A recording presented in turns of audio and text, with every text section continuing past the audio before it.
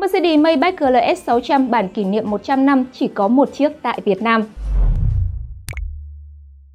Mercedes-Benz Việt Nam vừa mang về thêm mẫu Mercedes Maybach GLS 600 Edition 100. Mẫu SUV này được sản xuất để đánh dấu 100 năm chiếc Maybach đầu tiên được giới thiệu, hiện chỉ có một chiếc tại Việt Nam. So với Maybach GLS 600 tiêu chuẩn, phiên bản đặc biệt này có những điểm nhấn riêng về ngoại thất lẫn nội thất. Mẫu xe có màu sơn ngoại thất hai tông màu bạc High-Tech Silver kết hợp cùng xanh Nautical Blue được sơn thủ công.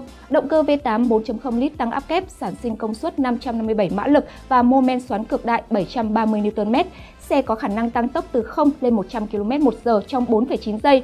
Những tính năng an toàn bao gồm camera 360 độ, phanh chủ động, hệ thống tự bảo vệ trước va chạm, cảnh báo mất tập trung. Giá bán của Mercedes Maybach GLS 600 Edition 100 tại Việt Nam không được công bố, nhưng chắc chắn cao hơn con số 11,69 tỷ đồng của Mercedes Maybach GLS 600.